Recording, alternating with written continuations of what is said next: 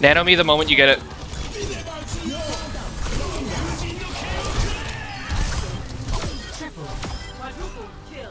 Nice.